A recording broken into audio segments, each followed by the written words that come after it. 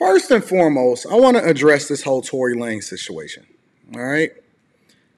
I want to address the whole Tory Lanez situation. And the reason why it's important for me to address the Tory Lanez situation is because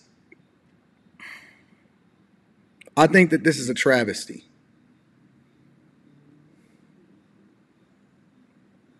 I think that this is absolutely a travesty. I do. I think it is very unfortunate that you guys don't see what is on the horizon. You guys don't see what's on the horizon. You guys don't see what's happening. Listen, for decades, for decades, they have incentivized you guys, and I'm not even going to just put it on black women tonight, I'm going to put it on everybody. But they have incentivized you guys to go against the thing that is best for you. For the men, they have incentivized you guys to embrace this trash ass culture and you don't even see it. You can't see it for the life of you. For the women, they've incentivized you guys to step outside of your purpose and you don't see it. You can't see it for the life of you. And so I'm going to use three examples specifically. Now, I don't have a script. All I know is what it is that I put in the title. All I know is what my thoughts are. I'm like a rapper that don't write their lyrics down, except for I do it from a content creation perspective. And I know what I feel, and all I know is how to be able to communicate it effectively. So if I write it down or I start to write notes, you're gonna get a, a watered down version of what it is that we're talking about on a regular basis. And so whether it's the Millionaire Morning Show or whether it's what it is that we're talking about right here on this platform, I don't write anything down. All I do is put what I want to talk about inside of the title, and then I give my thoughts. It's 100% authentic. We different over here. And, but I'm going to give you three things, three specific things and examples, and then I'm going to deep dive into it to help you understand exactly why it is that you're being incentivized to do, to do the thing that's not in your best interest. All right, let's start with Tory Lanez. Because you're so fucking distracted that you have no clue what just happened. You think that this is a Tory Lanez versus Meg Thee Stallion situation. It never was. You think that this is a men versus women conversation. It's not. You think that this is a gender war that's being implemented right now, and that's just a small part of the end game.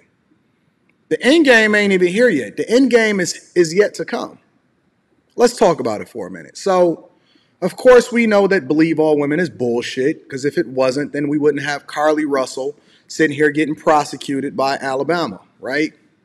And then they diverted your attention by highlighting and championing the dumbest shit that I ever seen in my life, and that was the Montgomery, Alabama brawl. And you were so distracted that you couldn't even see what it was that they were putting in front of you. And they were giving you the blueprint of how it was that they was going to play this thing out whenever something important happens. You can't see that the gender problem that we have and that we have women divesting themselves against the thing that's best for them is really just a small piece of a larger play that's really being implemented and, and taken out right in front of your eyes. And now that they actually showed you the playbook, you ignore it because you don't like to be uncomfortable with what the truth is. So let me break it down for you. Tory Lanez was sentenced to 10 years. Never mind the fact that we all know that there are situations where people do much, much, much more egregious shit and get much, much less time. Way more egregious stuff and much less time. But the cherry on top was the fact that she went on this whole tour of basically the court of public opinion, which you guys are now the mob. You are the mob.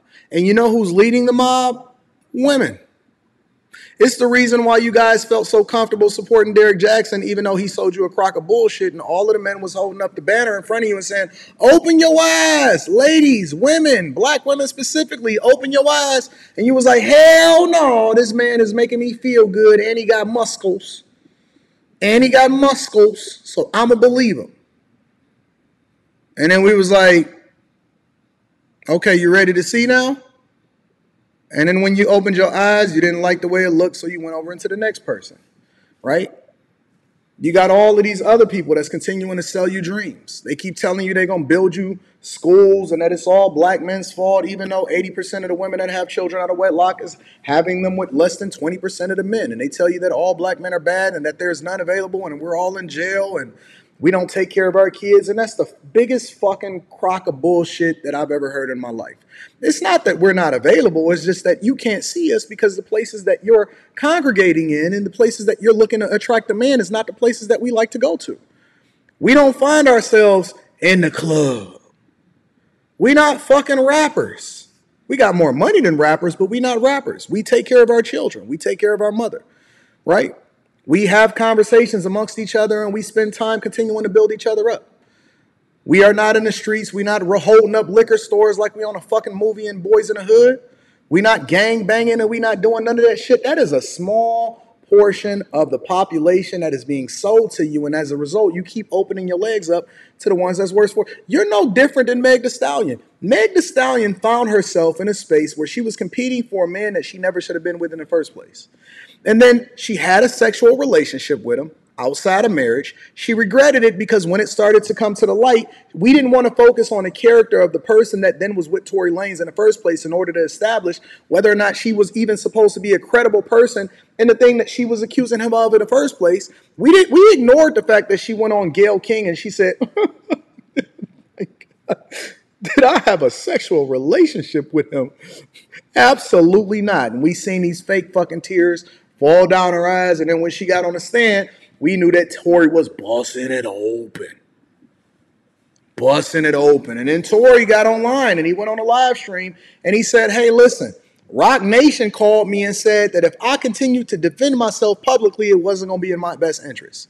Then we found out later that one of the caveats that was uh, one of the main things that gave him 10 years, in which he wasn't even supposed to get 10 years, but one of the one of the driving forces that gave him 10 years. And remember, this is not whether he's guilty or innocent. None of that fucking matters. It's the details. The devil is in the details. Do you know that one of the factors, allegedly, that that went into whether or not he was going to get as much time as he wound up getting was the fact that he did defend himself in a court of public opinion? Did you know that? Did you know that one of the factors also came along with it was the fact that he was still coddling and simping for her, saying that he still had love for her? That he made a whole fucking album defending himself? The fact that he decided to stand up for himself and go to trial because he felt like he was not going to be convicted in a court of public opinion and he believed in the justice system and that women ultimately wouldn't be the ones that turned against him this long and this much? And so if you defend yourself, think about it. If you decide to defend yourself because you truly don't believe that you should be in prison, you're going to get more time. You wasted my fucking time, you get more time. Now, what kind of justice system is that to where if I don't believe that I'm guilty, but I waste your fucking time as though I'm not going to be the one rotting in prison, then I get more time for actually standing up for myself and having a conversation, for presenting my case, and I'm going to be given more time based off of how you fucking feel inside of the courtroom. That is the way in which is going to determine whether or not I get more years and I'm gonna be taken away from my son. What kind of bullshit is that?